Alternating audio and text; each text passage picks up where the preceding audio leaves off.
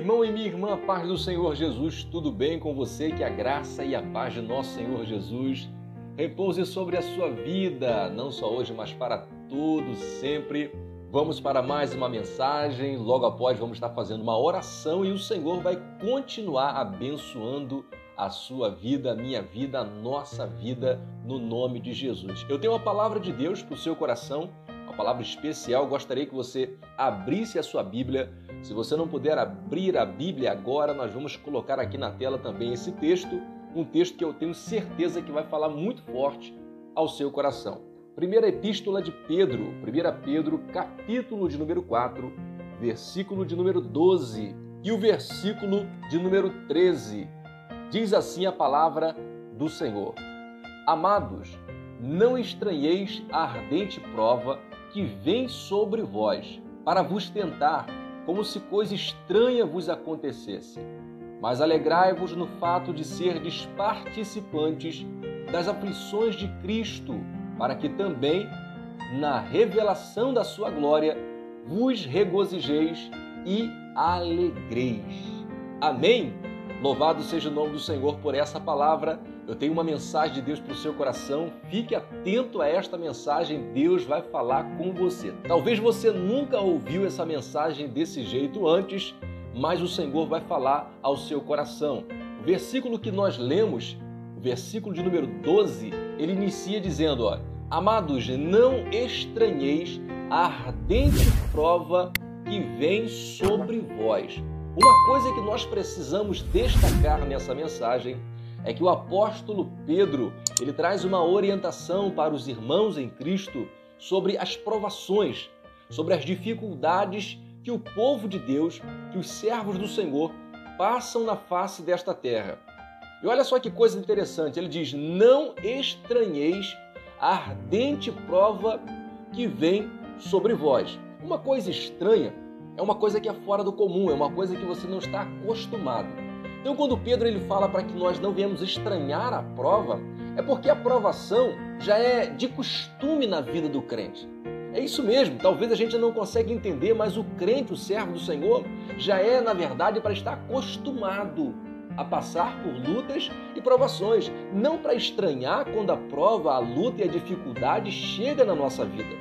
A luta e a provação não devem ser motivos de tristeza, e sim de alegria. O crente que está passando por muitas lutas e provações, ele está no caminho certo. Deus está provando ele, está permitindo a provação, o processo para que ele venha ser lapidado, moldado o seu caráter e o nome do Senhor seja glorificado em sua vida. É como aquela passagem de Jeremias 18: o barro na mão do oleiro. O vaso se quebrou e o oleiro fez da mesma massa um outro vaso conforme bem lhe parecia. Aquele que sofre injustamente e permanece fiel, esse agrada ao Senhor. Então, olha só que coisa interessante que eu gostaria de ler com você esse texto, ainda na carta de Pedro, 1 Pedro, o capítulo é o de número 2. Olha só o que diz o versículo de número 19. Porque é coisa agradável que alguém, por causa da consciência para com Deus, sofra agravos, padecendo injustamente Talvez você não consiga entender isso, mas olha o versículo de número 20. Porque que glória será essa, se pecando sois esbofeteados e sofreis? Mas se fazendo bem sois afligidos e sofreis, isso é agradável a Deus. Meu irmão, aceitando você ou não, querendo você ou não, essa é a palavra de Deus. E o texto diz que é coisa agradável a Deus quando o servo de Deus padece injustamente, porque isso aperfeiçoa ele, desenvolve nele o caráter de Cristo, porque Cristo também padeceu injustamente. Não há glória nenhuma quando a pessoa sofre porque fez por merecer.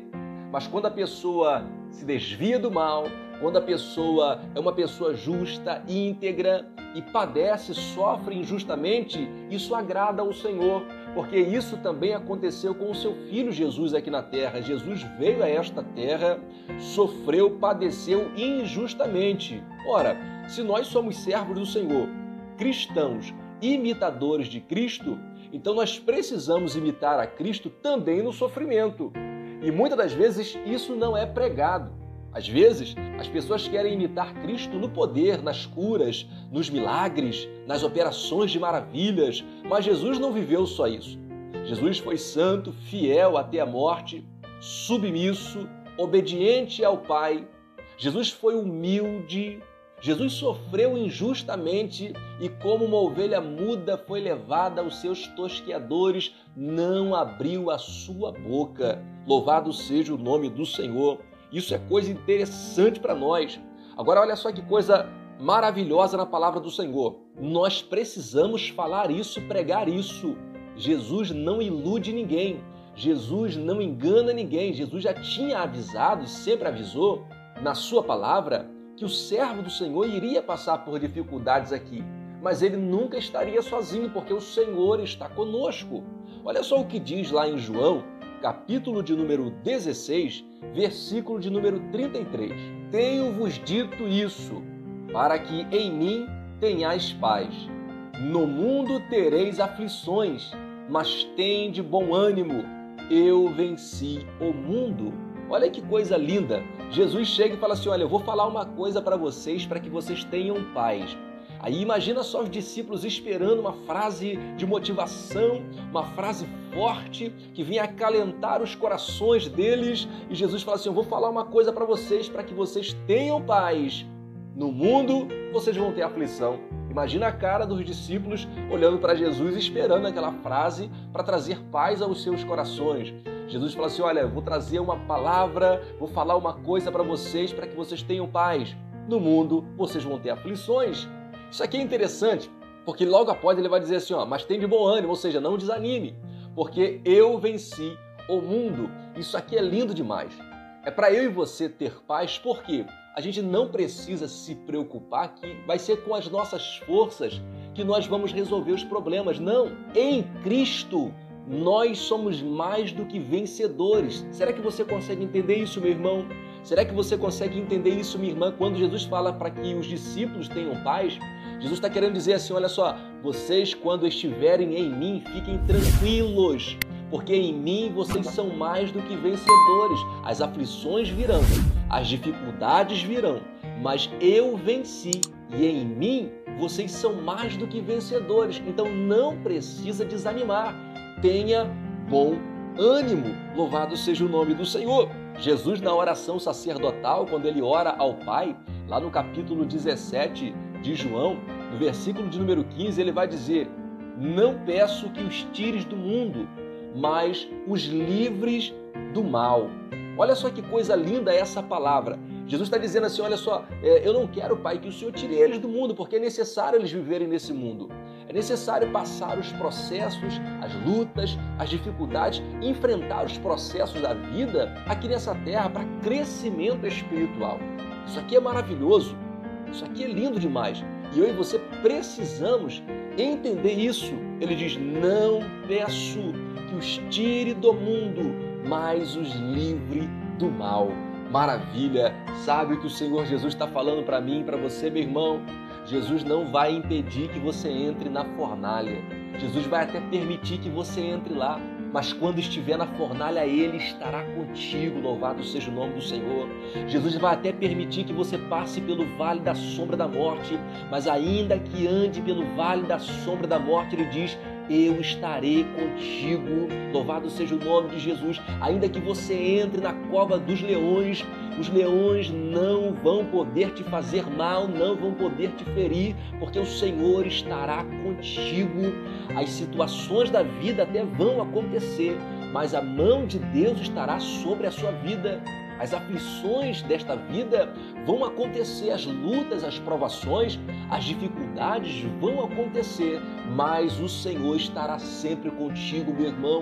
O Senhor sempre estará contigo, minha irmã, até porque não tem como ter vitória se não tiver luta, se não tiver batalha. Às vezes nós oramos, Senhor, me dê a minha vitória. Aí o Senhor prepara uma luta, uma peleja, e você não consegue entender. Senhor, eu pedi a bênção, a, a vitória, e o Senhor mandou uma luta. É como se o Senhor estivesse falando assim, mas você não tem como pular as etapas. Antes da sua vitória tem que vir a luta primeiro, a batalha primeiro, porque depois da batalha é que vem a vitória. Ninguém conquista uma vitória, ninguém conquista nada antes de passar pelo processo, antes de passar pela maratona, de enfrentar a luta ou a batalha. Nós não podemos pular as etapas. Há um processo que eu e você precisamos passar aqui nessa terra. Existem situações que eu e você precisamos enfrentar aqui nesta terra para o nosso crescimento espiritual, para o desenvolvimento nosso na presença do Senhor e para que o nome de Jesus seja glorificado na nossa vida. Amém, meu irmão, amém, minha irmã. Receba essa palavra de Deus no seu coração. Agora é o momento que nós vamos estar orando aleluia, pedindo a graça e a bênção do Senhor sobre a nossa vida. Oremos a Deus, Senhor nosso Deus, Senhor nosso Pai, Pai de nosso Senhor e Salvador Jesus Cristo. A Deus, neste momento queremos te louvar, Senhor. Agradecer ao Senhor, Pai amado, por mais um momento de palavra, aonde o Senhor, Pai querido, tem falado conosco que não nos abandonará mas também, Pai amado, o Senhor nos mostra a realidade, Pai querido, e a realidade é que nós enfrentaremos lutas, a realidade é que haverá sim aflições, dificuldades, pelejas, tribulações, Pai querido, e muitas das vezes nós não entendemos, Pai. Às vezes achamos que isso é estranho, mas a palavra nos diz que não devemos estranhar as provações ou as ardentes provações que vêm sobre nós. Não deve ser uma coisa estranha para o crente, para o servo do Senhor, passar por provação, porque isso o Senhor da glória, o Senhor já tinha dito: no mundo tereis aflições. O Senhor já nos avisou, Pai querido, que nós enfrentaríamos lutas, pelejas, dificuldades, Pai querido, mas em todas estas coisas somos mais do que vencedores em Cristo Jesus, o nosso Senhor. Por isso, Pai, nós te louvamos, Pai querido, já te agradecemos. Agradecemos, Pai amado, pela vitória que nós ainda não estamos vendo, Senhor da glória, mas pelos olhos da fé já podemos contemplar, Senhor da glória, a bandeira da vitória na nossa mão. Ó Deus bendito, no nome de Jesus, conceda aquilo que a tua filha precisa, que o teu filho precisa para vencer esta luta e esta provação. Senhor, nos dê força, graça, Senhor da glória, para ir adiante, Senhor, não desanimar, não parar. Ainda, Pai querido, que estejamos machucados e feridos no meio do caminho, Senhor. A tua palavra nos diz que a vitória não está no começo, não está no meio, a vitória está no final. Porque aquele que persevera até o fim, esse recebe a coroa da vida. Então, Senhor nos ajuda a chegar até o fim. Nos ajuda, Pai amado, a não procrastinar, a não parar, Senhor, na nossa caminhada, mas continuar adiante, olhando para Jesus, que é o autor e consumador da nossa fé. Pai, nós te louvamos, Pai, nós te exaltamos e bendizemos o teu nome, Pai querido, por este momento abençoado na tua presença. Abençoa o teu povo que está participando desta oração, ouvindo esta mensagem, Pai querido, aonde quer que ele esteja, onde quer que ela esteja, derrama sobre o teu filho e a tua filha a tua graça, a unção do teu Espírito Santo, vem envolver esta casa e esta família, no nome santo de Jesus Cristo. Meu Pai amado, nos conceda um dia abençoado, uma noite abençoada, uma semana abençoada, para a glória e honra do nome de Jesus Cristo. Nós oramos agradecidos no nome de Jesus. Amém. Amém, meu querido irmão e minha querida irmã. Fique com Deus, fique na paz do Senhor Jesus. Caso você não seja inscrito, clique aqui embaixo no botão inscrever. Se você já for inscrito, deixe seu comentário, compartilhe essa mensagem com mais alguém aí com os seus contatos e vamos juntos crescendo na graça e no conhecimento do nosso Senhor Jesus Cristo. Deus te abençoe. Até a próxima mensagem, se Deus quiser.